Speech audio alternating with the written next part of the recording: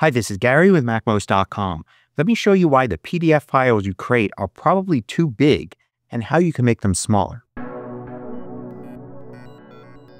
So I often hear when people create PDFs from documents they're working on that the PDFs are much larger than they think they should be. Maybe it's just text and a few images, and you end up with something that's several megabytes in size, and you really need something smaller, perhaps to submit it to an online system, or you just don't want that big of a PDF file to share around. Let me explain why this is probably happening. Now, this same thing could be happening in just about any document creation app, like Microsoft Word or Adobe InDesign.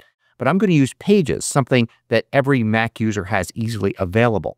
So here I've got a Pages document. It's about 14 pages long, and it's just text. You could see it here in the folder as a Pages document. Seems a little large for just text, 372K. But now let's export it as a PDF. That will allow you to send it to people and they can view it even if they don't have pages. And better still, they can just really view it. They're not getting the source document to be able to change it. It's basically a digital form of a printed piece of paper. So I'm going to go to File and then Export to PDF. And then I'm not going to choose anything special here. I'm not going to worry about image quality because there are no images in this. I'm simply going to save and I'm going to just save it here to this examples folder. And you can see I get this PDF and the PDF is 105K. If I take a look at it by double clicking on it and opening it up in the preview app, you can see I get a perfectly fine PDF here. And since the text is actually included in the document along with font information, I can actually zoom in as much as I want and the text remains super smooth. So this works perfectly fine in creating a PDF. But the problems start when you add an image. I'm going to take this picture.jpg image here and add it. When I double click on it to look at it in preview, it's a very large high resolution image. And you see, I can zoom in quite a ways and get a lot of detail here. So that's why this image is 12 megs. It's not your typical photo, but nearly a 60 megapixel photo. I'm going to drag and drop it into the document here. And then I'm going to resize it because I don't want it to be huge. I just want it to be a small image here off to the side, maybe taking up about half the width of the page. So now when I go to export this as a PDF, I do want to pay attention to image quality. I have good, better, and best. Let me export this using each of these settings. So now you can see I've got three different PDF files here. As you may expect, the one that's saved with best quality is the largest. You could see how it's about the same size as this picture here plus the PDF that's just text. So it's including the actual original image in this.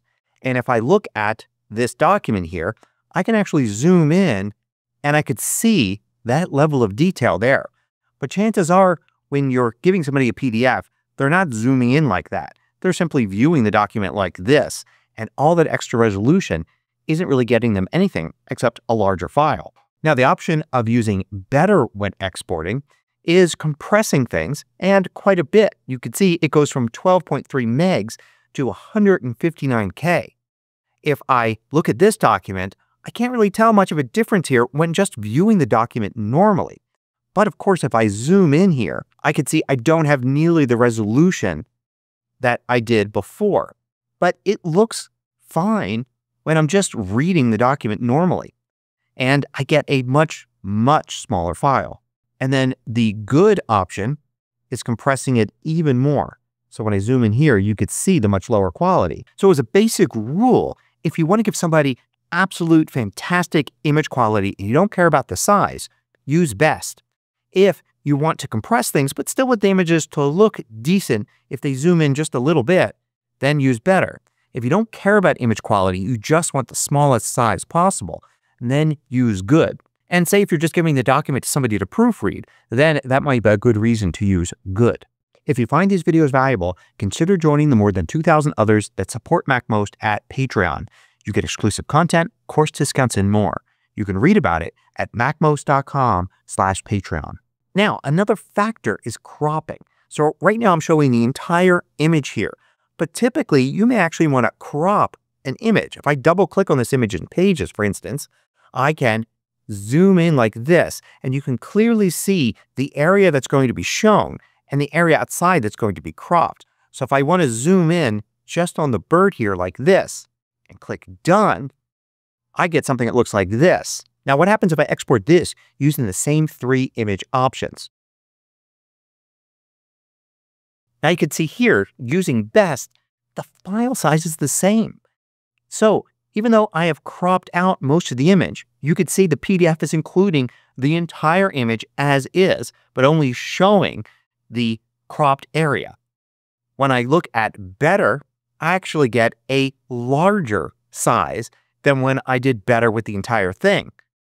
What's probably happening there is it's compressing the image but at the new size and then cropping it. So you get the entire image at kind of a medium kind of compression, but you're only getting the benefit of seeing the middle portion of it, the portion that hasn't been cropped. And the same thing with good. It's compressing the entire thing, but at a larger size, and then just showing you a cropped area.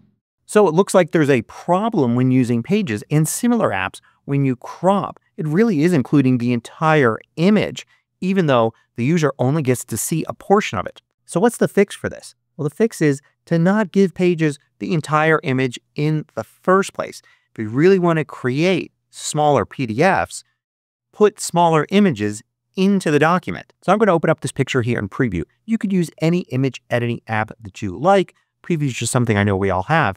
And I'm going to duplicate this, create another copy of it, and I'm going to call this uh, picture cropped and save it.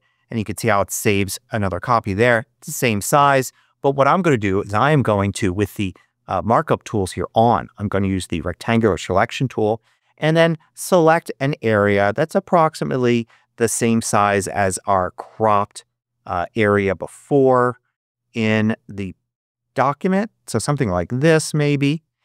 And then I'm going to crop it by going to Tools and Crop.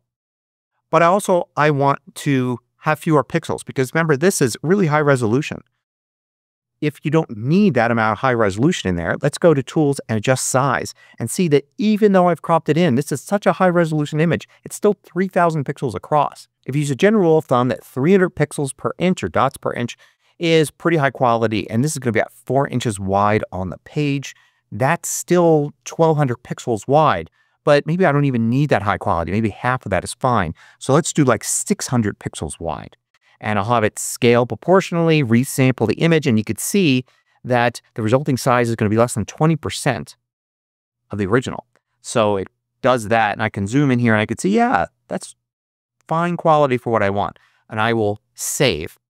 And now I could see here I've got the picture cropped. It's only 62K compared to the 12 megs of the original. So I'm going to drag and drop this into the document here, and I'm going to resize it to about the same size as the previous one, like that.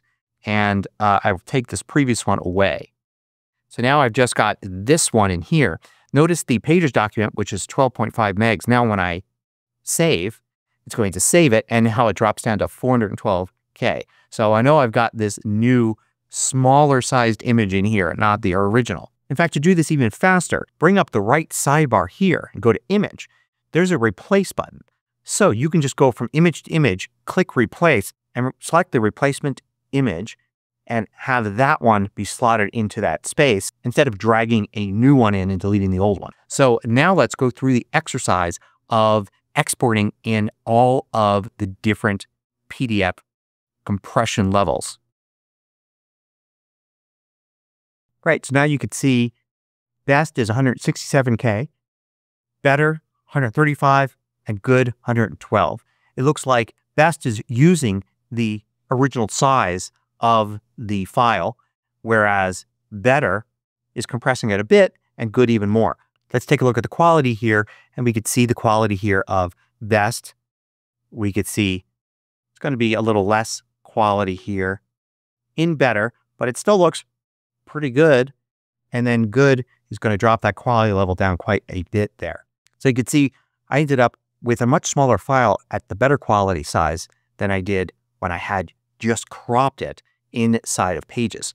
So the real winner here is if you want to have the smallest PDFs you can to crop and export your images exactly as you want them before bringing them into Pages. Or after you've already created the document and you decide you want to produce a smaller PDF from it, you go through the images and create new versions of them and replace what you have in Pages with those new versions that are exactly the right level of quality and compression that you want. And it's likely that the same technique will work in other apps where you're creating documents as well. Hope you found this useful. Thanks for watching.